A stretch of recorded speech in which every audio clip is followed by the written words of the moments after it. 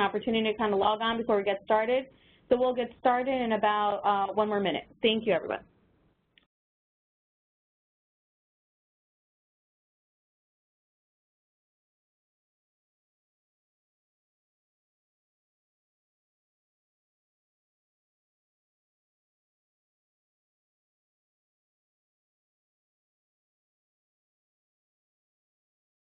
Okay, welcome everybody to the Community Technical Assistance Center Reimagining Children's Services webinar series. This is a part two. We had part one last month, and this is a, a wonderful part two on gearing up for change. Um, before we get started and introduce our speakers for today, I just want to go through um, some basic logistics about using a webinar system, especially if this is the first time that you've been on. Um, so currently everybody will be muted. There's a number of, of, people that have registered to participate, so everybody is, is currently muted. Um, if you have any questions or comments, uh, please use the chat function. The chat box is on the right-hand side in that panel towards the bottom. If you do not see the chat, just click the chat icon at the top and it'll pop up underneath participants. If you have any questions, just make sure that when you uh, submit, to click send to all panelists when you when you send us a comment. That way all the presenters can see your question or comment. If you're having any technical issues, send a message via chat to our host, which is brianna.gun. Uh, you can, sorry, you can send a message to the host in the dropdown, or you can email Brianna at brianna.gonsalves at nyu.edu. And just as a, a reminder for everybody, for all our CTAC webinars, we archive all the webinar recordings and we'll give you the website address, the direct address for all the Reimagining Children's Services webinar recordings and tools during the webinar. But you can also go to our homepage, ctacny.com for more information. And so we're uh, going to get started. Uh, Dr. Mary McKay, Director of the Community Technical Assistance Center, is logged on. I just want to um, make sure that we can hear her speak. Mary, are you on? I am, Lydia. Thank you. Can you hear me okay? Yes. Fantastic. So, so I'll go ahead with also my my um, my CTAC colleagues to to begin to introduce um, our series and our speakers, if that's okay, and then I'll have you join me or guide me in, additional ways. So hello everyone, I'm Mary McKay and I have the real privilege of co-directing the Community Technical Assistance Center uh, of New York and this is the second of um, uh, in, in a three-part series uh, really focusing in on the Children's Service System and how we can think together uh, with New York State Office of Mental Health, with CTAC, and with you around the transformed child mental health service system that takes exceptional care of young people and their families and also aligns with some of the new payment systems and opportunities that, that our system is, is presenting to us. So I have the real privilege of uh, identifying and welcoming our two speakers today. So Meredith Ray Labatt uh, is the Deputy Director of the Division of Integrated Community Services for Children and Families at New York State Office of Mental Health. I know Meredith very, very well, so thank you, Meredith, for being with us, and, and you're a real leader in really thinking through how do we provide excellent support and care to, care to children and their families. And so I'm really looking forward to your remarks today. And then we have a real treat. Um, one of our CTAC faculty uh, Dr. Anthony Salerno, who has taught me many, many things about presenting both in person and on webinars and has a real expertise in helping turn our attention to what matters in terms of quality care. Um, and so Tony will be the, the second speaker today. And so with that, I want to welcome Meredith and Tony, and I'm really looking forward to your webinar today. Meredith, before we get started, I just wanted to check in. Um, I think we're having some uh, minor technical difficulties. Um, so for anyone who's attending the webinar, if you're hearing us okay, can you please send us a quick message in the chat box and click send to all panelists to just let us know that you are actually hearing everything that we're saying and that you're seeing the slides. Great. Okay. So I think so I think we're good. I think the technical issues have been resolved. So, so Meredith, I'm sorry for the delay, but feel free to get started. No, I appreciate you checking in. We want to make sure that everybody can hear and can see the slides um, for today's presentation, so thank you. And thank you, Mary McKay, for that wonderful introduction and those really kind words. I really appreciate it. Um, and of course, it, it is a pleasure working with you as well um, all these years that we've had the opportunity to work together. First, I'd like to thank everyone for joining us on today's webinar and welcome you to the second Reimagining Children's Mental Health Services webinar. Uh, the Office of Mental Health, in collaboration, of course, with the Community Technical Assistance Center, is committed to supporting providers through the upcoming various system changes occurring in the children's behavioral health care system in New York State. So with the help of CTAC, our goal is to provide, provide you with ample and helpful information to assist you in preparing for the eventual, uh, preparing for and for eventually implementing those changes throughout New York State. So for today's agenda, we really hope to provide you with practical and operational steps that your agency can take to prepare, to prepare for these changes and to even help you to determine where to begin and where to focus your efforts. So as you'll see on the next slide, thank you.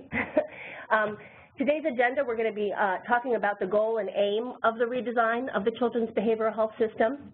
We're going to be looking at where we are now, where we want to go, and how do we get there.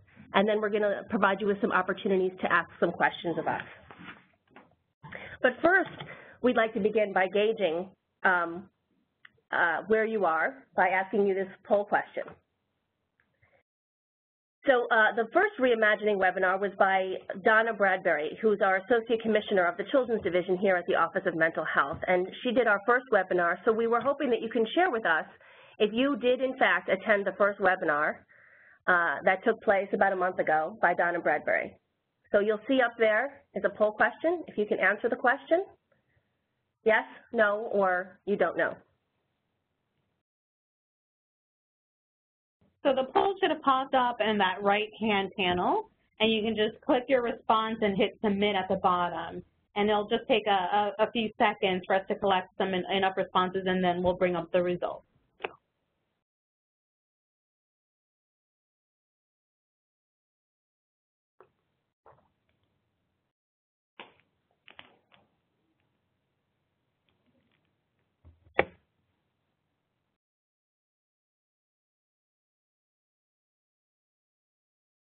So the results should come up momentarily. Sometimes there's a slight delay. And there we go. So did you attend the first webinar? Um, it looks like uh, the majority of you said that you were able to attend. There's a few of you that didn't, and um, a few that didn't get a chance to respond. So um, we do have the first webinar uh, recording and slides posted on our ctacny.com website, and we'll share the URL that goes directly to that page um, in just a few slides. Great. Thank you so much, Lydia. So, okay, great. so on the last webinar, uh, Donna Bradbury really did a great job of highlighting all the research and statistics of what we know about children's mental health. So it really provided the foundation and the framework for the rationale about some of the design changes that we're uh, looking to make, but also providing us with a, a um, a groundwork, the, a common groundwork for really what are some of the challenges that we face within children's mental health and what are some of the opportunities or what are some of the things that we really want to change and improve uh, as we move forward. So um, we know that, that children are not identified early enough, and we know that they also have trouble accessing the needed treatment that they need, and they often struggle to get the services that they need when they need them. And so sometimes children get into our system and they, uh, they progress with their challenges, uh, social emotional challenges, and by the time they're really identified or by the time their challenges are really unmanageable and impact their capacity to be successful in school, in their community, or in their home, uh, they often get need high-end services, and sometimes they'll need hospitalization. So we're really trying to avoid that by ensuring that we intervene earlier and that we are able to really maintain children at home with the support and services that they need and in the least restrictive setting in the community. Next slide. Great. So this is simply our goal, that children and their families receive the right services at the right time in the right amounts. And this is what we're basing the vision for our redesign efforts. So by capitalizing on our need for change, our move into Medicaid managed care, our development of health homes, we're really working to develop a design uh, to identify the services and the benefit package that will really help us to accomplish this goal. So by enhancing state plan services, making more state plan services available that will really address the social emotional needs of children, and by allowing earlier and greater access to a wider array of home and community-based services, we're hoping to better meet this collective vision for the right services at the right time in the right amounts, not only for the Office of Mental Health, but for uh, children who struggle with substance use, children who are in the foster care system, and children who are also have significant uh, medical needs as well. So, and many times, as everyone knows, uh, the children in our systems have often multiple challenges at the same time. So it, it, it behooves us to think about children as a whole and ensuring that all the services are aligned and available to them um, regardless of their challenges, and sometimes they're multiple challenges all at once. Next slide. Thank you. So as you'll see, here's a visual depiction of uh, the, the service system, the continuum of care. And so our focus in the redesign is to really bolster this low level of services to help, again, with the earlier intervention, to help identify um, the challenges that children are engaging in, that our children are experiencing earlier on, um, so that we can move towards a more integrated care system and that the families and the children in need can access support services earlier on so that we avoid this, uh, uh, this need for an intensive need of services. So, um, and by really bolstering the array of home and community-based services, we can really make children have access to the types of services that they need earlier. So while this continuum often may be linear, each child's journey is unique and most often does not take a linear path. So our hope is to build a more nimble and responsive system that can better meet the needs of the children at any age of their development. So they can move from a high-intensity service or low-intensity service, and there be some fluidity between them, more so in the future system than really what our system allows today.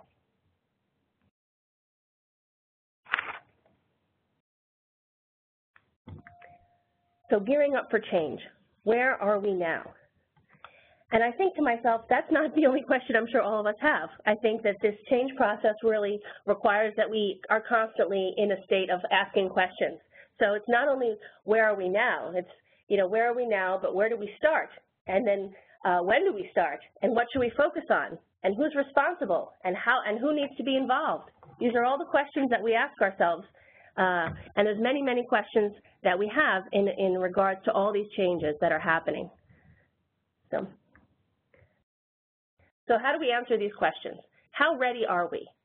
Um, and so the first step is really to gauge yourselves and, and your organizations, the organizations that you're in. You have to know what do you know, what you don't know. What do you do well?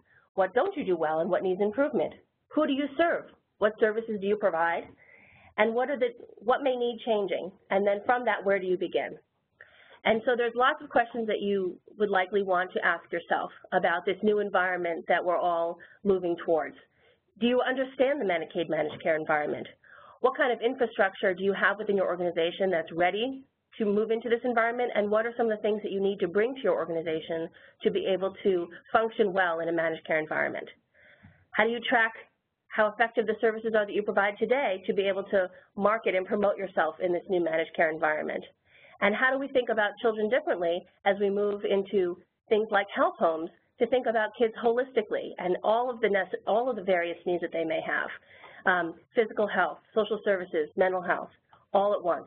These are all the questions that are coming to our minds as we start to think about these new changes that are upon us. Next slide. So in order to prepare for these changes, we're going to be responsible for really looking at ourselves and our organizations and doing some mapping exercises to really get a sense of where we are today to be able to make changes for where we need to go for tomorrow.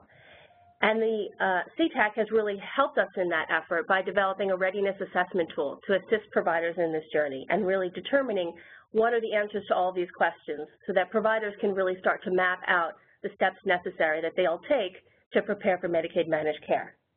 So to walk you through the readiness assessment tool, I'd like to, to turn this over to Lydia Franco from CTAC. Great, thank you, Meredith. So um, as, as, Meredith just said, we, we, through the Managed Care Technical Assistance Center and through the, in, in collaboration with the Community Technical Assistance Center, we've developed a managed care readiness assessment tool um, with an addendum really specific to assessing the child serving service delivery model that you're currently utilizing. Um, and so for some of you, you may have, especially if you service adults, you may have already participated in a number of our MCTAC events where we've really been focusing on building managed care literacy, and some of you may have already completed the first part of the tool. Um, and those domains are, are, what's listed here, understanding the MCO priorities, contracting, the credentialing process, uh, member services, quality management, finance and billing, access requirements demonstrate. So that, that's really just more general managed care readiness. So we'll, we'll have that available and we'll be sending links to you as well to be able to complete that. But specific to the child serving system, it isn't just the transition to managed care, but it's also really understanding this new service array and what does that mean. And, and, and um, piggybacking on what Meredith said is really understanding what are the types of services that we are already um, providing, are any of the, the services in line with this new um, set of, of, recommended services um, in the children's plan? And so we have this addendum, which is a, a part two. And essentially it, it, starts asking you to really kind of highlight what are um, the ways that your child serving programs do early identification and screening, of a client? What ways or what types of treatment models or evidence-based practices um, what are the models that you're currently using in child serving programs? How do you track um, child outcomes? Um, how do you, and whether those are standardized skills or idiographic skills, or how is it that you're actually tracking um, children's outcomes? Because we know a big part of the transition to managed care is really focusing on uh, uh um, achieving outcomes. And then the last one is really sort of the agency assessment or service array. So I'm just going to pull up, um, just so you um, have a look. So the part one is this managed care readiness assessment tool, and it's very um, detailed around a number of the domains as I had just mentioned. Um, so again, this may be familiar to some of you who may have already started completing it, especially if you're transitioning to adult services and participate in some of our events. And then specific to children, there is this other addendum that kind of asks some questions around participation in programs, um, the identification, the screening, if you don't see me um, moving the slides or scrolling, you have a scroll bar on the right-hand side that you can also move up and down, or you can change the zoom as well if you're not seeing me kind of move the document around. And it's, it's just basically pretty straightforward, just highlighting what are some of the current services that you're providing. Um, and I'm going to see if I can rotate this quickly. Um, it's not the way we wanted to rotate it. Um, and so there's a number of um, uh, programs that have been highlighted in the in the state plan as well as the home and community-based services plan that we've highlighted here, and just thinking through, are you already providing them, and if not, are you collaborating with any agencies that are? So we're recommending a, a certain set of stats, and the URL ctacny.com slash child-services.html, and we'll, the slides and the webinar recording will be posted on our website. Um, and we'll also be sending out an email announcement tomorrow so that you have all this information in one place as well. Um, so we highly recommend that you download the hard copy, the PDFs of both parts one and two, especially if you haven't had a chance to complete part one and really kind of sit down with key members of your leadership team um, to think through and, and complete the tool together. And then what we're asking um, for child serving agencies is to submit this online. So after you've completed the hard copy, um, to submit it online through an electronic survey form that we have. Um, and if you ideally can have that completed by January 30th, um, we can kind of get a really good picture around where child serving programs are and what additional resources and um, programming technical assistance that we can provide to you as well. And then each agency will receive an individual, individualized report of their responses that we'll be completing. And I just want to highlight that um, individual agency information will be kept confidential, strictly confidential. Um, we'll only be looking at information in aggregate. Um, and we also have some additional resources for part one through the mctac.org website um, that kind of walks you through in a little bit more detail if it's the first time you're really hearing about um, some of that managed care literacy programming that we've been doing. So again, all the webinar recording, the slides will be posted on the ctacny.com website. Um, the tools will also be posted there, the access to the online survey, and we'll follow up with an email to everybody so you have it all in one place. so to get us started, we just wanted to kind of check in with everybody and pull up a poll question. Um, and we just want you to let us know where you are with self-assessment. Have you already started implementing some form of self-assessment in your organization specific to this transition to managed care and the changes in kids services? Um, so if you could let us know once that poll pops up, it'll pop up again on the right-hand side. Um, just let us know, yes, we've started, no, we haven't um, started yet, we haven't had a chance to complete them. We have been thinking about it, um, or, you know, what's a self-assessment? We haven't really thought about it at all. So in just momentarily, we'll pull up that poll. And maybe there's a technical glitch. So what we can do is if the poll, if you're not seeing the poll pop up, maybe you can submit it through the chat box.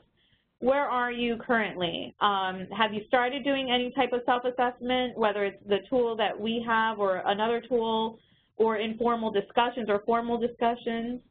Have you, uh, have you really not been thinking about it yet? Or you're just not really sure where to start? Great, thank you so much. So we have a few people uh, writing in, uh, and what, I, what I'm seeing is that quite a few are have already started and are ahead of the game. Uh, quite a few of you are also saying that you're thinking about it. Um, many of you have said you filled out even our tool, at least a part one. So if you filled out part one, please make sure to fill out part two. And then there's a, a few of you that are, are, letting us know that you haven't quite started yet. Um, so I think what we'll do is, since so many of you responded through chat, we'll skip that polling function and we'll just move on with the slides right now.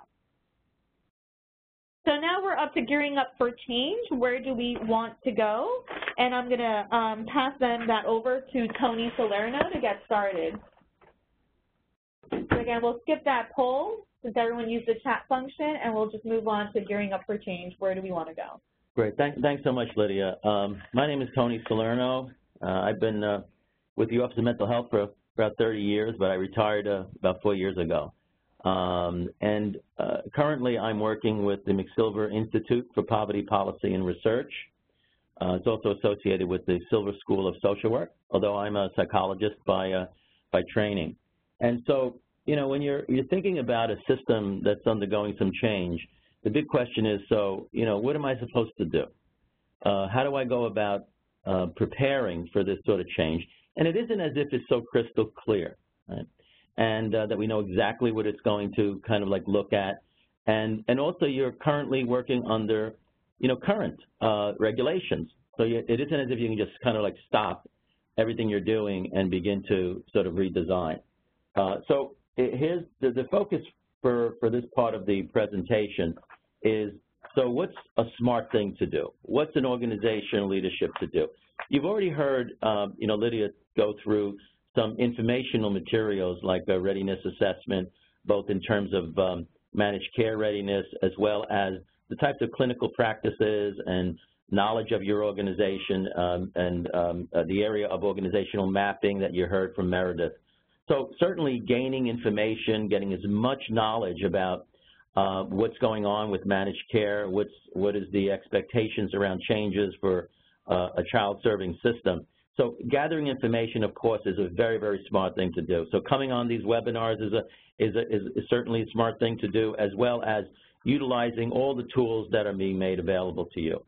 But then there's also another, another level of, of preparation, and that's what I'm going to be going into. So the next slide. So some of the key question is, is having a vision uh, uh, for your organization and how it aligns with children's services and the issue around quality, and that's what I'm going to make a big pitch for, that it's hard to make a mistake if you focus on quality. So really the remaining part of this presentation is going to be on what the heck is quality and how do we go about, you know, sort of improving it. And especially so that it aligns with what is going to be a changing healthcare system uh, for kids and actually for adults and, and everyone else. We're just going undergoing a great deal of change. So next slide. So the aim of redesign, right, to improve quality, and we already heard Meredith speaking about uh, some indicators are early identification, looking at outcomes, um, you know, the, your whole service provision, uh, access, um, and that there's equity, right, that all children, regardless, regardless of payer, um, uh, has equal access. So I'm going to go into that a little bit more detail as well. Next slide. So what are the dimensions, you know, of, of quality? And it basically comes down to, to these areas. Uh, and, and it comes down to safety. Anything you do to improve safety in your organization, you are um, preparing for a changing healthcare situation. Uh, no matter what redesign um, uh, goes on in New York State or elsewhere, uh, that improving safety will be in support and prepare you well for both managed care relationship as well as redesign in the service system. effectiveness, being client-centered, timeliness, efficiency, equity, an appropriate type of services, coordinated service, and accessibility. So these are some core dimensions. So what I'm going to go through essentially is, so what is it an organization, what is it that an organization can do uh, to increase uh, the quality along each one of those dimensions? The next slide. So when we talk about quality, I like this particular quote from Don Berwick, that the ultimate judge of the quality of the work that we do is those who we serve. End of story. And I think that is an important principle here. It can seem that, you know, it, quality is taking place at another level in the system. But actually, the, the whole point of all the different layers, regulatory, fiscal, um, redesign, uh, it's all to affect and improve the experience of those who are receiving services. So ultimately, they are the arbiters uh, of uh, what is really quality. So that's an important principle, and I think it's important to kind of keep in mind. Next slide. So Edward Deming, who is a big guy in the area of, of quality, uh, one of the gurus, uh, he made this statement, and I'm not sure if folks kind of agree with this or disagree with this, that the best way to reduce costs is to improve quality. Uh, and that's been proven over and over again in a lot of industries, uh, that uh, poor quality is very wasteful. Uh, you end up not getting the outcomes that you want. You have to redo things over and over and over again. So this notion that somehow we can improve quality by throwing more money at an existing system, that that won't do it. Uh, getting people to work a lot harder probably won't do it. Trying to get rid of like sort of the bad apples in an organization is not going to do it. And so that when we want to uh, look at and improve quality, it really does require a change in the current system. And so that's part of the catalyst for why things need to change. It isn't keep the same system, just get people to work harder, get rid of people who aren't doing a good job, and throw more money at it. Uh, that would actually be a simpler process. But as it turns out, quality is not going to be enhanced by that. Next slide. So the, and, and why is that? Uh, and, and, this is a really important uh, sort of law. It's not even a principle. Those in the equality area kind of say, look, this is pretty much a law, that every system, the current system, right, is perfectly designed to achieve exactly the results it gets. So if there is room for improvement, you're not going to get it unless there is a redesigned system. Next slide. The second law of, of quality improvement is to change the results, right, the outcomes that we currently get. Yeah, we, we need to really change the way the system, you know, operates. And it, the decision really is, you know, so what is it that we need to keep uh, doing in the current system that really aligns with quality? But there's some things that we may just have to stop doing. That's not so easy. We've formed organizational habits. We've developed systems, policies, procedures. Uh, trying to undo things that folks have come, become accustomed to is not no easy task.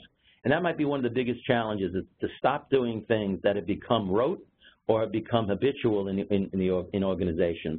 And then the other piece, of course, is what do we need to start doing that we haven't been doing? And it's really, in a way, it kind of seems sort of like, you know, simple, and it is, but it's also very, very meaningful. That ultimately, that's really the challenge for us, what to keep, what to stop, and what to start doing. Next slide. So what's an organization to do, right? So that you're not wasting time, that you're not putting your effort into, um, into activities that won't really pay off. So you focus on improving quality of your practices. And anything that you do to improve quality is going to be preparing yourself uh, to be in a better position, both in addressing redesign challenges as well as new fiscal systems uh, around uh, managed care. So you ask yourself, what can we do now? And it's difficult to waste time, to make mistakes, or to misalign your efforts if you focus on quality. So I hope I made this pitch strong enough. And I think it's a wise thing to do, a prudent thing to do, and a practical thing to do for organizations uh, who say, you know, we, we do want to be best prepared, uh, we want to improve our services, and if you focus on that, which you can do beginning literally today, uh, then the message is that you'll be better prepared for a changing healthcare system. Next slide. So the question is, what can you do to increase safety? and that could be a conversation that any leader, anyone who's on the line right now, in the next meeting can say, well, let's take a look at this. Let's step back a little bit, right? What is it that we can do to increase safety in the services we provide and how our programs, our procedures, our policies, our knowledge of the workforce, uh, all of those elements in an organization.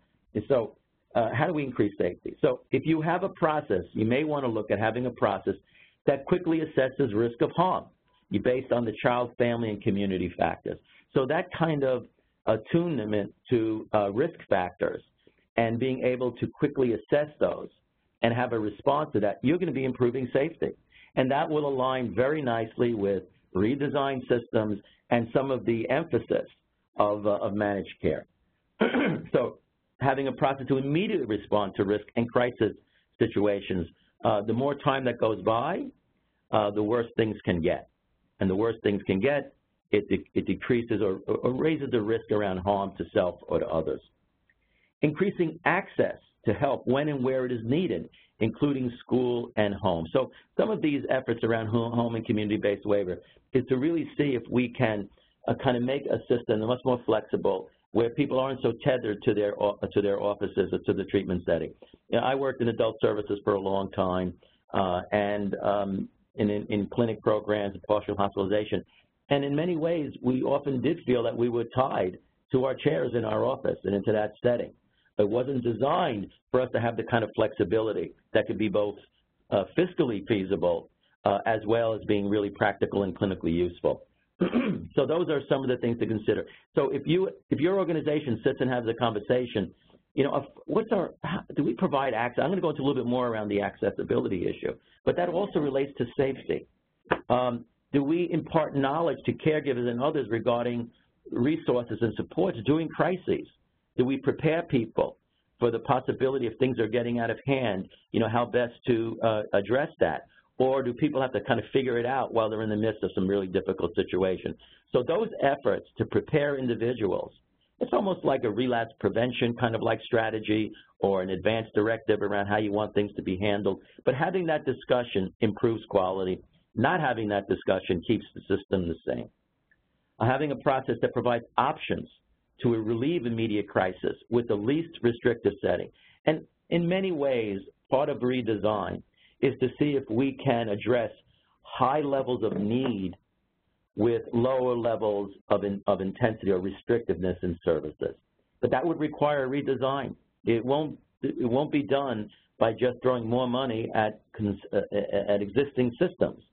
Uh, so that whole part, uh, piece of it is can we expand supports, the immediacy of, uh, of service response uh, in a way that even very high need uh, kids and caregivers uh, that we can effectively assist them and manage the, uh, those situations with less restrictive interventions. Next slide. So how do we increase, or what can we do to increase effectiveness? So if you have that conversation uh, as, a, as a team, if you decide to choose that particular dimension, and again, it doesn't matter which dimension you choose. You can choose any of them. If you're working towards improving that quality along that dimension, then you are really preparing your, your organization really very well, uh, both to uh, improve the services you currently uh, provide, but also uh, what the future will hold. So do you identify best practices for a particular condition? Like, for example, um, the research is pretty strong that if you have kids with conduct problems, and again, it's the, the largest percentage of kids when they're referred for mental health services, and you don't fully involve the caregiver, it's likely to be ineffective. So that would be just sort of a question. I mean, if you went back to your organization and you said, okay, how many kids here are being treated for conduct, some serious conduct problems? Oh, about 32%. Uh, of those 32%, how many do we have a caregiver uh, fully engaged, you know, in the treatment? And you may find that it really varies. Uh, that, you know, some practitioners pretty comfortable with families, they engage them regularly, they're fully involved. Others, uh, it doesn't work that way. They're more likely to just see the child independent and don't haven't developed a plan that fully integrates the role of a caregiver. So that's just one tiny example, but having that conversation around the effectiveness of services for the presenting problem, uh, and so any effort you do to improve that, you're doing well in terms of preparing for the future. Measurable outcomes. Uh, this is something uh, that Lydia mentioned. Some folks like, to, you know, we use some standardized measures, right? Some scale that's been validated and reliable. And idiographic really means that it's uh, very specific to that person. Uh, so that someone wants to really improve uh, a particular behavior problem within the home that may not be captured by a standardized uh, scale. And so if you have increasing use of some of these measures, then if someone asks you, so what's the outcome here? Uh, how are you helping young people to get from a clinical to subclinical level, that you'll have some basis of, uh, of making that determination. Then the staff training and supervision to ensure that practice is implemented, you know, with, uh, with quality.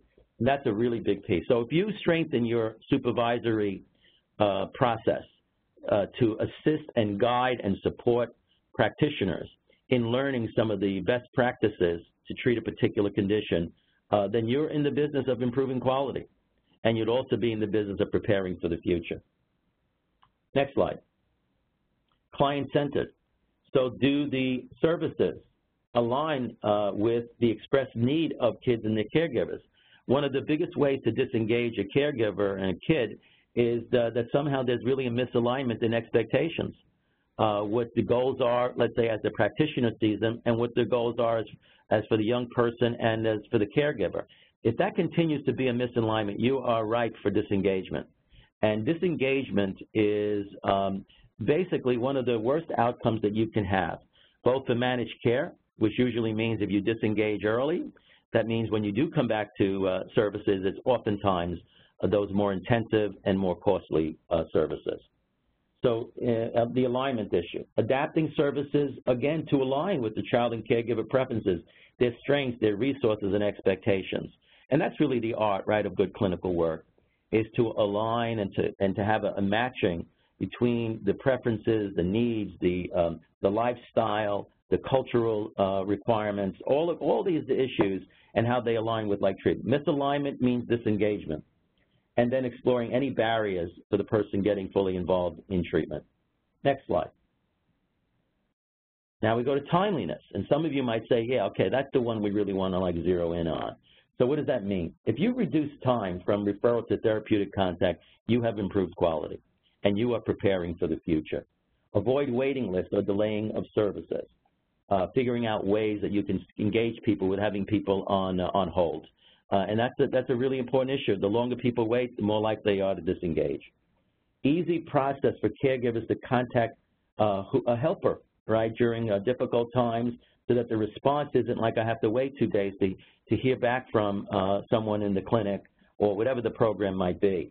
So anything you do to shorten that period of time where there's a more immediacy, of response. And we all know that that's part of quality. We know that in any service that we're receiving, when we get a call back from our doctor when we're trying to reach him or her, uh, that makes like a big difference. That's what, that's what quality is about. You're preparing now and for the future. And a rapid response to crisis when it's needed. Next. Uh, being efficient is pretty important. And to examine and improve your workflows uh, related to policies and procedures Now, what do you have to look out for? Most organizations don't actually sit down and take a formal look at, you know, how do we do business? You know, you kind of figure out a workflow and you just keep doing it over and over again. Uh, that certainly was true for me. I must, I must tell you, this is, this is just common practice in clinics that I was, um, you know, the director of and, uh, and partial hospitalization programs and in inpatient work. So I've, I've you know, uh, found this, and, and it was very rare for us to just reflect on our workflows. Uh, and sometimes workflows create inefficiency because there's way too many steps. Every step is a place where something can fall down. It's just way overly complex. Uh, it's a mismatch between the task and the person's credentials, where folks at a higher credential are really doing work that is really outside of their, uh, their, their, their scope. And it's best to maximize a person's training and their experience and their credential and then if there's any lack of clarity of roles and responsibilities. So if you were to sit down and take a look at an important workflow, our intake process, uh, or uh, you know what is our how we handle when a person has a missed appointment or a no-show, you know all of these sorts of things. When you look at that to improve its efficiencies, you're in the business of quality. To monitor missed appointments and no-shows that harm the bottom line and increase risk of disengagement. That's another area. And I know there are programs out there that are really taking a look you know, at, at ways to uh, all, you know, sort of redesign uh, the whole process of scheduling, whether it's through centralized scheduling or using open access systems. It's just the idea of missed appointments and no-shows are really, uh, it, it does, it's not, again, I don't want to, it's not someone to blame. It's saying that's poor quality. It's poor quality, and it's not like who's, to, who's at fault or anything like that. It's just an indication that we need to take a look at that and do our very best to try to address it. If you do that, if you're in that business, you're in the business of quality and preparing for the future. And then striving for optimal treatment. And part of the, the problem is there can be an overuse of services. There really can be too much services. Uh, and that, of course, is, uh, is not very efficient. Um, and you could have uh, underuse of services and the idea of misuse of services, right? So the, the idea really is to, is to strive for optimal treatment. And that also involves, like, at what point do we feel that the person can go to a different level of care? What's the criteria that we're going to, going to use for that? How well do do? When people do leave our services, how do they leave? What percentage leave because they just stopped coming? Which percentage leave because it just didn't seem like they were really appropriate for treatment? It was always more initiated on the part of the organization. Uh, so, you know, how do people leave because they just moved? They they left the catchment area. How many how many kids and caregivers actually complete a course of treatment that brings them from a clinical level that brings brought them into treatment to begin with to being at a subclinical level where they no longer need this level of care. Doesn't mean they may not need it again in the future. But at this point in time, uh, the individual no longer needs this level of care that we're currently providing and whether you begin to wean people, you know, coming in less frequently, but still having the focus on when you meet certain criteria, we know that that's time when a person has been at a subclinical level of functioning and it's time to move on. Um, to strive for optimal treatment, as I mentioned, and so those are efficiency issues as well as effectiveness. Next, equity providing care that does not vary in quality because of the client's characteristics, whether it's gender, ethnicity, geographic location, socioeconomic kind of life status. That's a really uh, uh, tough issue. Not so easy to take a look at health disparities or service disparities. Uh, so if you take a look at that and say, well, is there, do we find that, uh, that some folks, uh, whether by gender, ethnicity, uh, their socioeconomic level, somehow that's related to whether they make it to our services or not, whether they stay in treatment, whether we have, um, you know, effective, uh, you know, services. It's just kind of like taking a look, are the service sort of, are they equitable? Or have we designed them in, a, in such a way that maybe folks from a particular cultural background just don't find it that rewarding or not open to it or find it welcoming or misaligned with the sort of cultural perspectives and preferences. Not an easy thing to take a look at, but if you do, then you are in the business of quality. Uh, also, care that does not vary illogically from practitioner to practitioner, uh, and that somehow we have standards of practice, and it's provided by all, as opposed to, well, the treatment is whatever that practitioner says the treatment is once they close their door. One likes to do it this way, another one likes to do it. What you have then is a system that can vary very illogically. You know, you get certain things if you ended up with one practitioner, you get a whole completely different approach with another practitioner. And so looking at standards of practice uh, that are applicable really across the board, they, at least that, that starts a, a, strong basis of developing a service plan uh, when it's based on a combination of the evidence, the clinician's uh, knowledge and skills to engage individuals, and then the, the client's uh, particular preferences. So if you can bring those all together, that's really pretty powerful. And then supervision. Supervision is one of those areas that oftentimes has be, really been relegated to very many, to many administrative tasks or, you know, enforcing policies or overseeing productivity and documentation and those sorts of things. Um, but there may be an opportunity to take a look at supervision so that to ensure that there are some standards of practice that are applied uh, effectively across all uh, supervisees, right, across the staff that are being supervised. Okay, next slide. Appropriateness, so what can we do about that? Uh, really providing the least restrictive level of service to address the level of clinical need. And that, I think, is a guiding principle uh, in redesign, you know, as well. And to look at the service system that expands less restrictive services, right, of sufficient intensity and duration to address the level of need. So that's where we really get into the redesign of the current uh, service model to reduce the need for more restrictive care. And that's just something to kind of like, you know, to take a look at, uh, to see if that we, uh, is it being overdone? Is it underdone? Uh, is, is this service in a way being almost misused? So those, those issues around the appropriateness, you know, of, of, of services, and especially trying to uh, address even high need with less restrictive, restrictive interventions. And again, we know that under current situation, you know, that this, you have some constraints on you, right? That there are some limitations, there are certain parameters that you have to work under. Again, it might be something you'd want to take a look at. The, the last part of appropriateness is do you make decisions to take into account the cultural, religious, socioeconomic, and other contextual factors, right, in the day-to-day -day experience of the child and caregivers, so that there's a certain flexibility, accommodation, uh, so there isn't a misalignment, and so that the, the service is really appropriate to the person's literacy level, comprehension level, cognitive level, uh, their um, the, the, sort of existing and, and prevailing beliefs that the person has based upon either sort of cultural background or um, uh, based on some religious perspectives. It, that you know just means that it's important to take that into account. And if you do that, then you're in the business of improving quality. Next slide. Coordination, increasingly a very, very important issue, not so easy to do.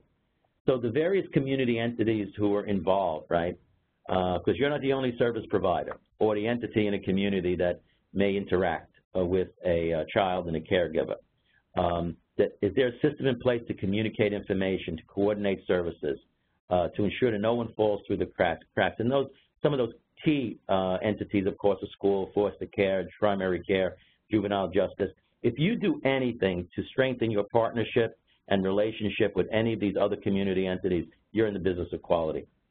The risk associated with transition from one level of care to another is minimized, right, through coordination and fully engaged in uh, you know caregivers. So avoiding the kind of abrupt, poorly planned transitions where all of a sudden something has to change on a dime. So things are really designed to be much more planful. Uh, that uh, helps the coordination uh, you know, process as well. But many ways, it really means knowing what your community resources are about, which ones your clients are likely to interact with, and then being able to establish a greater relationship and coordination of services in that way. Next slide. To make things more accessible is to reduce any barrier to treatment eh, because of poorly designed organizational practices and policies. You know, how quickly, is there someone to be on the end of the phone when you call in? Or if people leave messages, if they do, how long does it take for someone to get back to them? Those sorts of issues um, may really serve as barriers. Uh, and then increasing ease of access to services, right? Whether you do open access kind of scheduling, just-in-time psychiatric support, immediate, having some immediate sort of response teams. There, there, may be a number of ways, and some of them may be really practical under your current realities, uh, and that may become offer you greater opportunities uh, under a redesigned uh, system of care. Next. Okay, so let's let's just take a step back a little bit on a poll question. And so when what way will a focus, if we focus on quality, be a useful approach to prepare for a redesigned system of care for children? So I've been making this pitch around that if you focus on quality and, the, and one or more dimensions of quality, that that is a useful approach to prepare for a redesigned uh, a system uh, or uh, in, in including a, a, managed care uh, uh, system. Uh, so let's see if we can bring up that poll question. I'm really very curious to know what you guys you know think about that. So, okay. So if you can please just answer A, B, C, or D. do you think this is like a helpful way of thinking about it in terms of what you can begin to do now, or it's very helpful, or it's helpful, or it's marginally helpful, or I don't know. I don't just don't think it's not, I don't think it's helpful. Um, so if you can just give us a little feedback on that, I'd really appreciate it. Let's give you a moment. We have a good number of folks on, so we take a couple of moments for people to respond. We want to get as much participation as possible. And just choose the one that makes uh, most sense to you. Okay?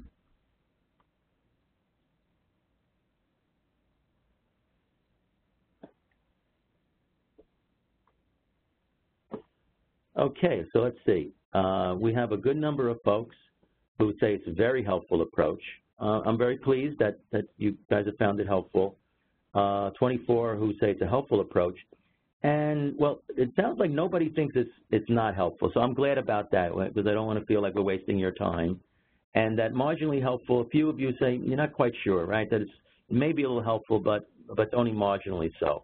Well, thanks very much for that, for that feedback. Um, and, um, you know, we'll go on to the next, to the next slide. So I, I'm, I think that that's pretty good.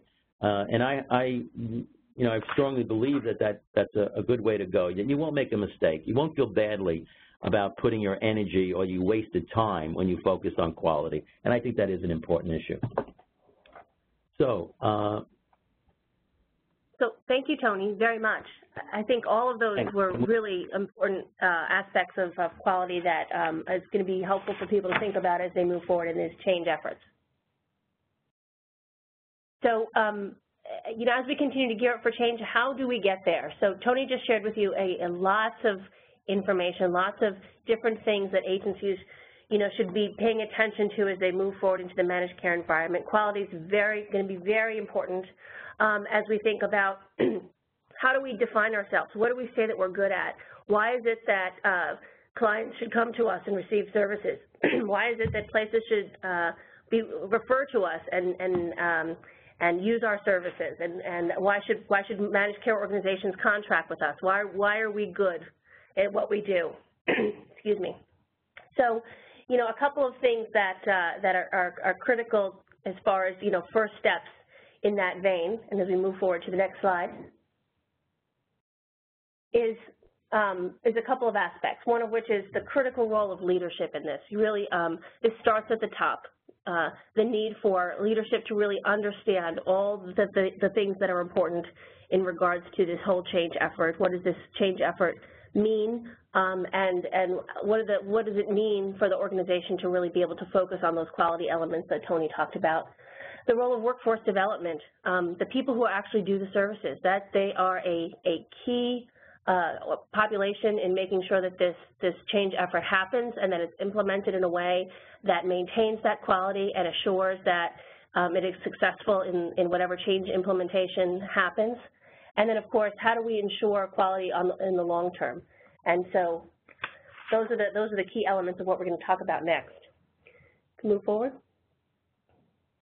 Next slide. Thanks. So, you know, when we talk about the critical role of leadership, you know, one of the one of the uh, key authors of, of change management and most well-known um, renowned change experts is John Kotter, and he he talks about um, the eight steps uh, that leaders need to, change, to take to to assure successful implementation of change. Um, you know, he, he did, uh, in 2002, he developed, he wrote The Heart of Change, but he started his work back in 1995 with Leading Change. I mean, these, um, these eight steps have really been around for a long time, and they still resonate today because they really um, allow for leaders to, to map out what, what their role is in, in regards to change. And so, you know, he, uh, he realized that you really, in order to to really facilitate change, you have to have a full understanding of what, what is the change that's needed. Um, what is, what is, why are we, why are we making this change? Um, what is the, the purpose of the change? What's our vision for the change?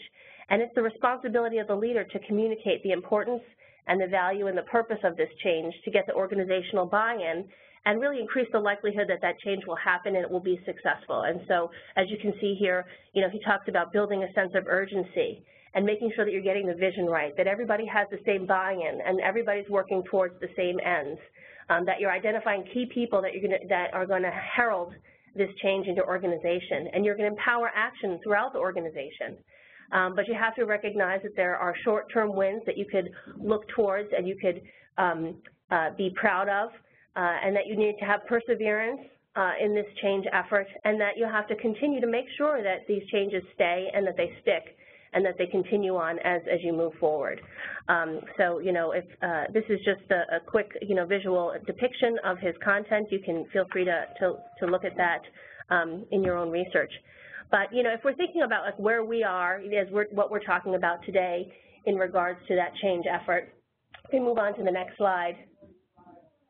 Um, here's, you know, a common kind of, um, uh, you know, change process mapping, right? So um, these are these are generally common steps that that are, identified for what's necessary in regards to making change happen. So in the change management strategy, and as you'll see, um, we started off our presentation really focusing on phase one that you need to do a self-assessment, a readiness assessment even, um, of where you are today in preparation for that for the change. And then, you know, part of what we talked about, you know, what Tony addressed and, and what we'll talk a little bit more about um, after this is really preparing for that change. So, you know, we're really in the very, very beginning stages of this change effort. And, um, and so organizations really, uh, you know, have a, have a long way to go. We all have a long way to go with how we can accomplish implementing uh, implementing this change. Part of that is really understanding, I think we're still also understanding what that change looks like, what that change means, and that and information about that is going to come uh, even, even, you know, past today into the future, you know, really getting more specific information about, about what this new design looks like and about the impact of what that might have on our system as a whole. And so there's a lot of work for us to do, and we really just started. So, um, so, you know, engaging everybody in the importance of it, focusing everybody on quality, giving them some really practical steps of what we can look at now. What can we do now in regards to this, these changes that are happening that could make us really prepare, even though we don't quite know what the, the, um, the specific changes will have to be in the system or will have to be in our organization, but what can we focus on now and what can we do today to prepare for that change? And I think that you could start that right away, um, which is really useful. Uh, next slide. So what are some of those steps for today, right? Um, how do you really take a proactive approach to the change? How do you kind of start before you start? Since we're really in the very early phases of this process, you know, how do you how do you build that sense of urgency, as as Kotter talked about? How do you get the vision right? How do you communicate that buy-in? Um, so you want to look at mobilizing the key leaders in your organization, starting to prepare your workforce to really understand that change is coming, and having giving them buy-in to the to the focus of quality, about ensuring quality and and um, promoting quality. It might be that your uh, the stakeholders or the people who you provide services to are hearing about these changes and they're getting very anxious. They're getting very nervous. Everybody's very nervous. So it's the responsibility of the leadership to really communicate um, a, a, shared vision and communicate a focus. And, and, and communicating a focus around quality is, is something that everybody can buy into. And so, you know, leaders must take that proactive, you know, open, transparent approach to change. And, um, and these are some of the steps that you can, if you have not, some of you may have, you know, started already, but if you haven't, certainly these are, these are helpful steps that you can start with uh, today. And so um, um, helping to reassure everyone that is part of that organization or is served by that organization is, is a key a key part of, of the responsibility of, of leaders in, in this change process. So next slide. So, of course, you know, to do that, um, to be able to communicate that vision and to uh, ensure a, a, commitment to quality, leaders must ask themselves these questions. Do you, do you really understand the upcoming changes? Um, what does the vision and this new system design mean for your organization and the services you provide? How do you determine the impact of the changes? What changes might you may have to make within your organization? And then, of course, how do you prepare? How do you message? What's your messaging to the various stakeholders, uh, your board of directors, your employees, the, pets, the people that you serve? And you might have to have different messaging based on your audience, right? You have might might need to, to tweak and to alter uh, what the message is for the different folks that you're really uh, engaging in this process, and that's and that's appropriate and that's fine. So leaders have a big a big job ahead of them um, and a lot of responsibility, but um, but I think that um, there, there's things that people can start today, and that there's ways in which um, agencies and, and the leaders of those agencies can really uh, start reassuring people that um, that uh, we'll, we'll, all be doing this together. And of course, Office of Mental Health and CTAC are there with you, and we'll we'll support you as best we can in this process. Um, but there are things that people can do today. Next slide.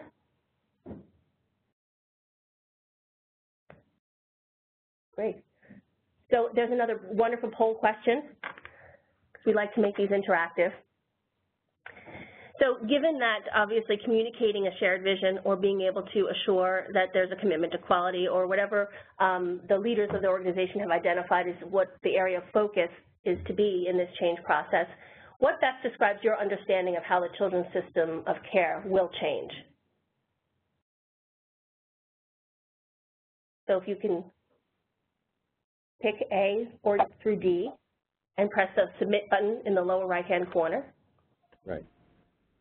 So, so basically, you're being you're you're thinking about whether you definitely have a really good, clear idea. You could go back to your organization and and really present to them and respond to a question. So, what's going on? Uh, or you're mostly clear. You have enough, uh, but there's still areas that are really sort of gaps somewhat is you wouldn't you just don't have enough to be able to communicate to others and you, it's very unclear to you. So whatever one any one of those four options best fits your experience. So we'll be closing that out momentarily and the um, results will pop up.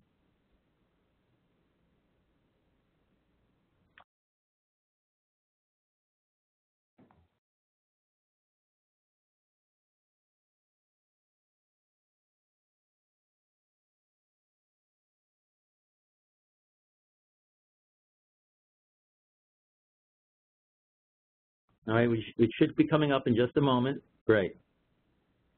So um, what we have is uh, a number of folks really have a definite, uh, clear idea. Uh, and mostly clear was a large number, uh, and somewhat clear. Um, and then there's a, a, number of folks who really, you know, this is maybe this is the first webinar they've been on, and uh, it's there's really a lot more that they need to learn. Uh, we all, you know, these webinars are also archived, so we certainly recommend that folks go back to the first one uh, if you haven't had a chance to, to see it. And there was a good number of folks who are on this webinar who did not were not on the first one. So that may be uh, you know part of this as well. But okay, thanks so much for sharing that with us. Okay, Meredith, I think I'm on now. Yep. Okay, so uh, just a, another couple of comments around the uh, what leaders need to know is the impact of change on the workforce. And, you know, folks who've studied this, like this guy Woodward, that it's uh, not unusual for the organization to believe it's, you know, involved in strategic change, but really the workforce can experience this as shock change. Next slide, please. And so what is it that staff are most concerned about? And the literature keeps pointing to this over and over again. Whenever there's a change process, right, and it's not even quite clear whether it's going to be a positive change or we're not sure or could be pros and cons, is the staff immediately are concerned about whether the meaning they derive in their work, that somehow they'll have to stop doing things that they really enjoyed and valued doing. That's a worry. That's a concern that staff will have. And in leadership, engaging for buy-in, it's just important to be aware that that will be something on folks' minds, whether they articulate it or not. So to think about, you know, how you would address that issue. Uh, people are very concerned about the control they have in the workplace. They finally figured out a way to get through the day. They've kind of like, you know, have have kind of know their their roles, their place, their responsibility, the environment, all of these sorts of things.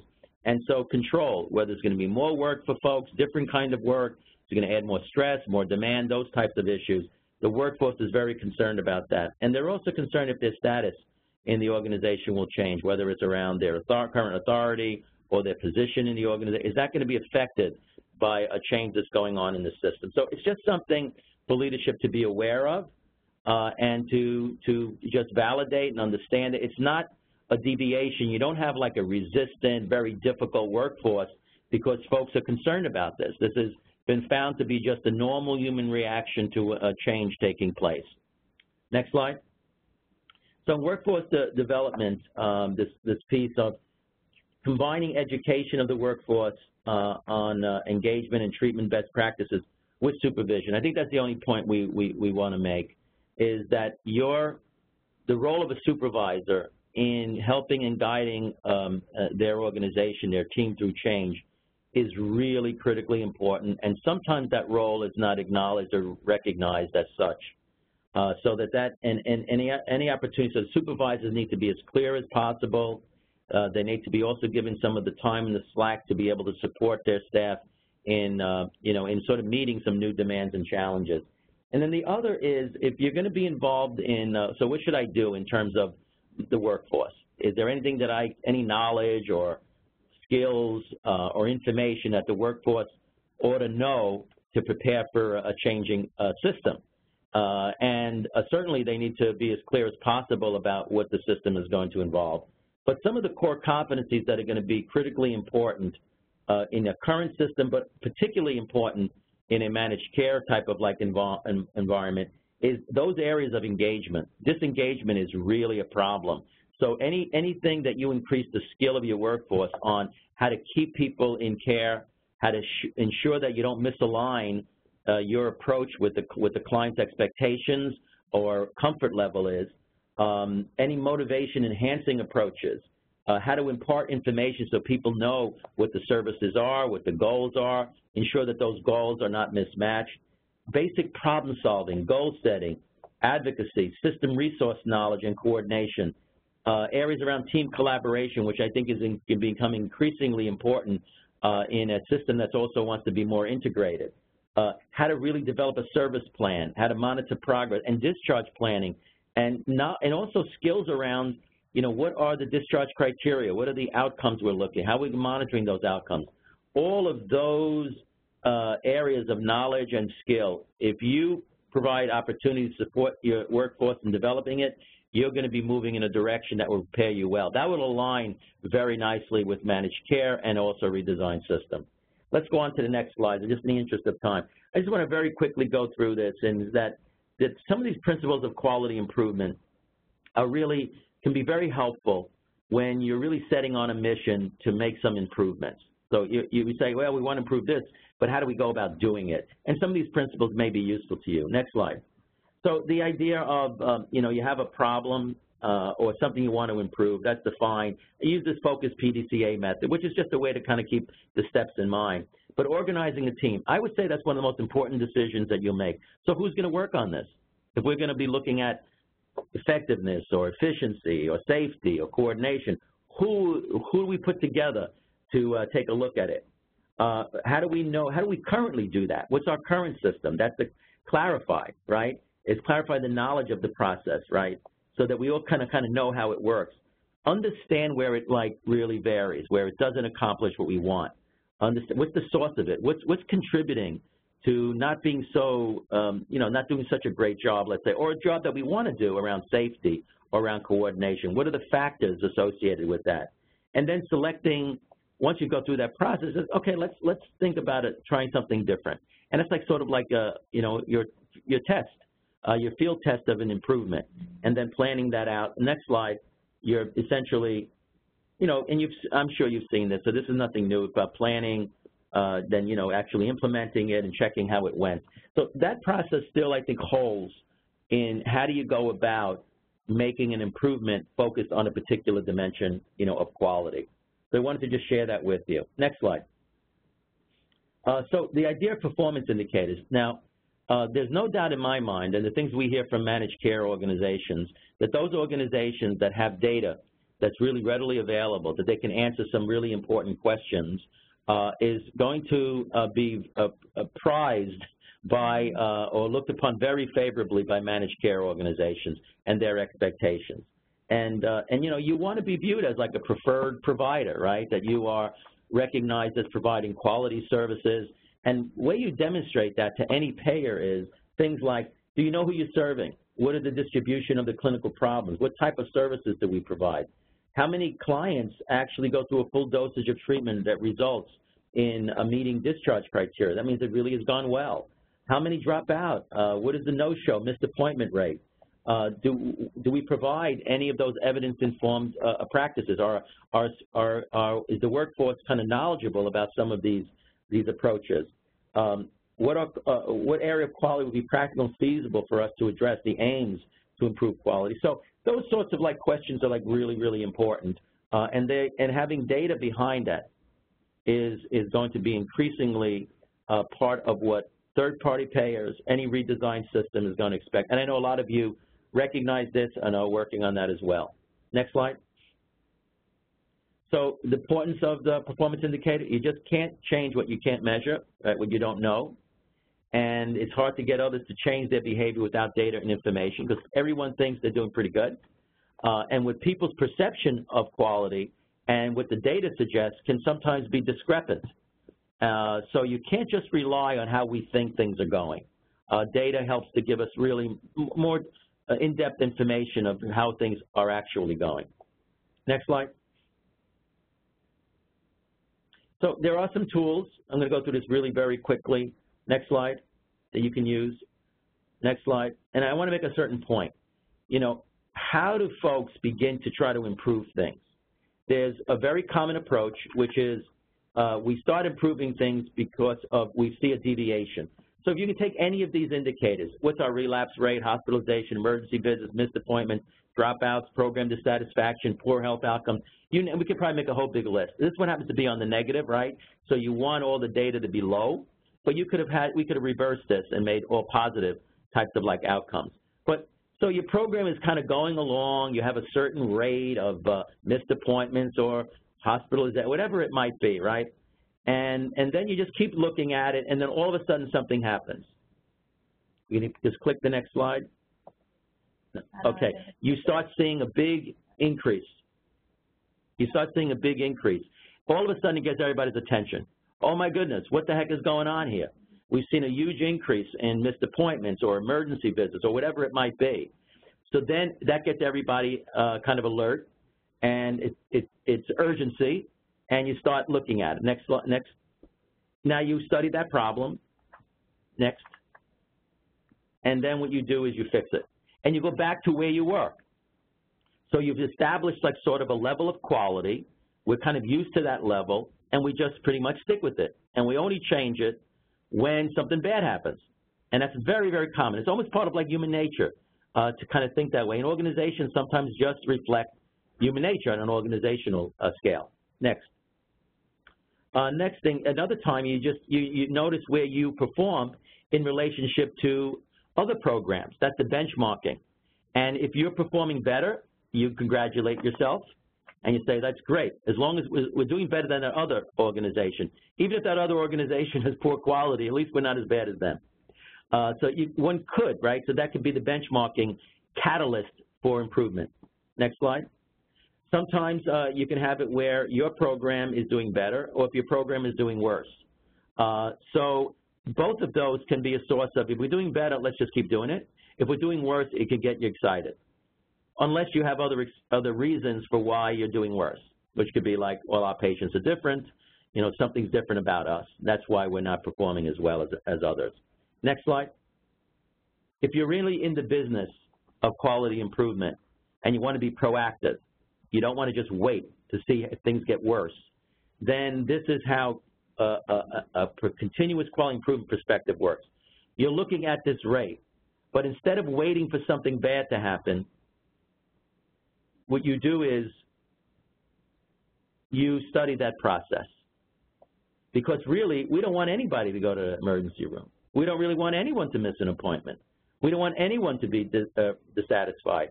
And we don't want anyone to have poor health outcomes. So this is, this is an organization that says, we're going to take a proactive approach. We're not going to wait for deviation. We're not going to compare ourselves to others.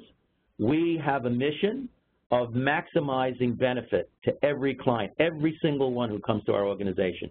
You study the process, and that results in redesigning the process. And that's true for, in a way, how we were trying to redesign the system, right? It's kind of going. It has the results it has. Uh, if we want to change it, we're not going to wait for like some horrible thing to happen or some terrible events or an implosion of quality. No, let's take a look at where we are now and let's see if we can redesign it so that we get actually better outcomes. Next. Workflow, I've already kind of mentioned to you about, uh, about that. Uh, it's something to take a look at. Uh, here are just some guiding principles around, you know, looking at the number of steps involved. And I've helped organizations uh, in some of my work I do in integrated care. Uh, and sometimes it's like you take a look at the workflow and you say, oh my God, we got like so many more steps than we know. Or if you find that three different people might be doing the same thing, so you say, well, who's responsible for that? Well, uh, sometimes it's Mary, and other times I think John does it. But if John's not here, then it's, and you get this very complex system of, um, you know, of workflow that lack of clarity on roles. Uh, or if you look at the client, when they go through this workflow, you say, well, is that really a workflow I want to go through? Somebody who I uh, care about? Is, is that really, from the client's perspective, moving through this workflow, uh, is it something that's going to be helpful or not? Uh, and then the customer focus, uh, you know, of course. Okay, next. So, um, recommended action steps. I'm going to uh, turn it over to, uh, to Meredith. To Meredith. I think you're going to kind of wrap us up and then move us on to the Q&A. Right. So um, I think that you know, given the time frame, uh, clearly these these are the recommended action steps are really what we all talked about um, on the webinar. You know, throughout the throughout the hour and a half uh, is, you know, Lydia had re recommended to people to please, you know, view the webinars that we had previously and certain, certainly register for the upcoming webinar in our, in our three-part series. Um, you know, look at all your leaders and your, the people who are going to be integral in implementing all the things that we've talked about today in regards to quality, in regards to leadership and vision, and in regards to data collection and ongoing quality assurance uh, mechanisms make sure that you complete that readiness tool and um, and look at again look at all the content that we've shared with you today and and then think about how you can implement it and how you can engage in operationalizing the steps for your agency and your organization. Great. And so we have a, a, number of resources listed here for you on the website. They, as, uh, again, as Lydia mentioned early on, um, there's a lot of additional content on the website in regards to preparing for Medicaid managed care uh, that's been shared, so please be sure to look there if you've not done so already. Thank and you, our Meredith. next webinar, thank you. Yeah, so I just wanted to highlight that we have a part three to this webinar series, and then part three is January 14th from 12 to 1.30, uh, specifically focusing on understanding the new menu of services. So it'll go into a little bit more detail about uh, the, the, um, some of the new home and community-based services and, and, service delivery models. So I wanted to be uh, mindful of time. We have a couple questions that came in. So Meredith and Tony, if you're open to taking a couple of the questions that come in, we can spend sure. uh, some time. If you haven't submitted your question, please go ahead and submit that through the chat box. Um, and we'll make sure to, to get the presenters to um, respond. And if we have too many that we can't get to in this time, um, we'll try to see if we can do a follow-up and post that on our ctacny.com website.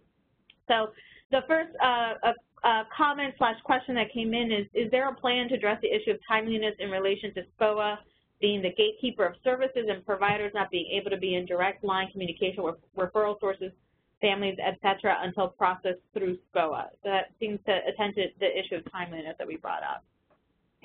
So, right. So that, like that's a great question. Yes, thank you. I think that would be, that's uh, probably a me question.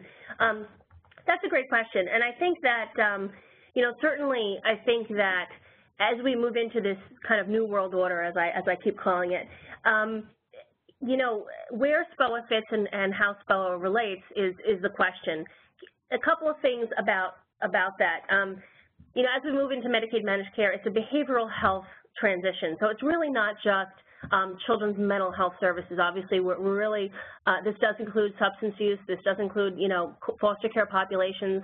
This does include medically fragile populations. If we're really looking to kind of um, combine things in a way that it's more seamless and less siloed, uh, to think of something as, as kind of a mental health gateway function, uh, it, probably it won't be a good fit in, in the future. Um, but the, the, the, the purpose of what SPOA does and the role of the county um, is really what, uh, what might continue to fit in the future. And so obviously as we move forward, there will be a need for us to have a mechanism, a, a place in which we do determine eligibility for home and community-based services. It's a requirement of CMS that we, we uh, use some sort of assessment or make some sort of official determination um, uh, that's not done by a provider entity, that there be a level of care determination, that there be eligible for meeting that level of care for, for HCBS services. Um, so, you know, where that where that lies and who does that is is obviously still outstanding. Um, but I think that the the issue of timeliness is is important because clearly, as we move forward, there's we don't we can't wait. We can't we can't have kids waiting on wait lists. That's one of the other things CMS, uh, you know, has talked about is that um, if we if we allow for any willing and qualified provider to be able to provide services, there shouldn't be wait lists, right?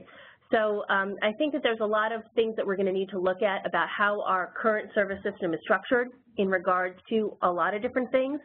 Um, uh, and, and, and certainly I wouldn't call what we, what we are going to be moving towards as being like a gateway system, but um, certainly there's going to need to be an eligibility determination function, and then there's going to need to be early uh, quick access, uh, not only for hopefully the level of care population, which is our current waiver population, but also that level of need population who are really going to need that immediate entry into, into the array of HCBS services at a lower level, so that level of need population. So really we're going to have to rethink um, how that works and how that looks and how it also relates to being a cross-systems function versus just a children's mental health gateway function, which it is today. Wonderful. Thank sense. you, Meredith. Thank you. And we have a, a, another comment that came in that uh, was specific to some of the uh, slides on quality.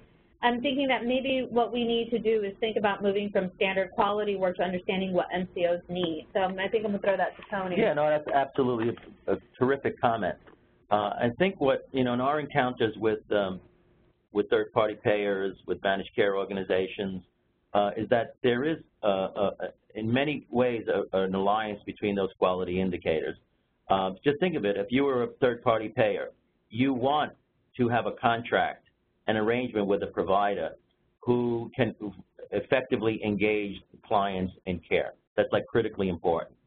You want an organization where it's not wasteful, right, that they have efficient processes in place, that they know how to handle risk. Risk is one of the most critically important parts for any managed care organization, any third-party payer, uh, because if that's not uh, handled well, if the system does not respond well to early the earliest signs of like risk, uh, then things are likely to get worse, which means uh, the, the, the, care that will be provided is likely to be expensive, restrictive care.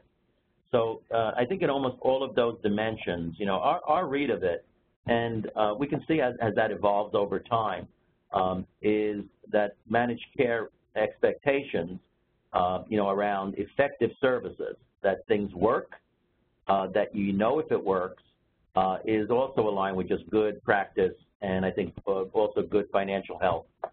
So I think there is, and but I think that the comment really is is reinforcing and recommending that we make that more explicit and that there's an alignment with those quality indicators and the expectations around managed care. So I, I couldn't agree more.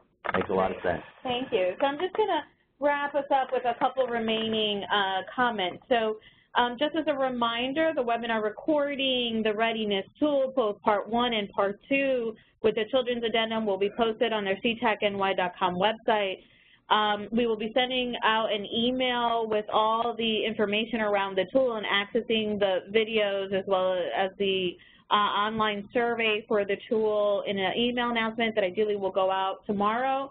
Um, we do have a feedback survey that's going to pop up at the end of the webinar. So for those of you, I've gotten some comments and feedback in the chat. If there's anything that you feel um, would be helpful in this process and in supporting you and, and becoming ready for this transition, especially all the changes in kids services, if you can just fill out that feedback surveys and let us know what it is that you're looking for, if there's any kind of specific um, uh, tools or resources or trainings that you think would be helpful for you, please let us know. Um, also, um, I just wanted to clarify that the readiness tool, again, it's a part one, which is the original managed care tool. So if you've been participating in our MCTAC events and you've already filled that out, you don't have to fill that out. You but the addendum for children's services is new, so if you can go ahead and just complete part two and submit that to us, that would be really wonderful. And then we can combine sort of the, the, the reporting with the original managed care tool that you completed. If you haven't completed both of them, please do so. And again, we'll follow up with links and an email so you'll have all that information available to you, or you can go now to ctacny.com.